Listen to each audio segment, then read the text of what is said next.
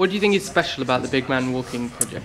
Apart from his size, um, I just think that it's such an interactive event that that in itself is really quite special. Because it's unique uh, and a bit mental. The scale of it? The scale of it is hugely impressive, and to have that built here for here is marvellous. People are fascinated by the, the sort of very big or the very small, and puppetry excels at the very small, so to take it and turn it on its head and make something that's very big, uh, just people are going to be blown away by that. Biggest ever puppet. So different. It's on such a massive scale and it's really magical and creative. Mythical and magical and all of those kinds of things. Uh, on paper, it's exciting, and then when you start to see it coming together and you see just how big it really is, it takes your breath away, literally. And I think it'll just be something really stunning.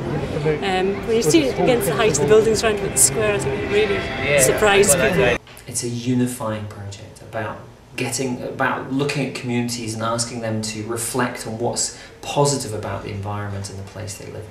Involves the community and adds a bit of excitement to the summer. It's involving people, the size of the giant, the fact that it's a, a bit of a mystery, a bit of a, an adventure. To have a puppet this size is actually a figure moved by a telehandler and 10 puppeteers is going to be extraordinary. Freddy's going to save the world and end terrorism. It's enormous, it's awe-inspiring and it'll make people stop and think.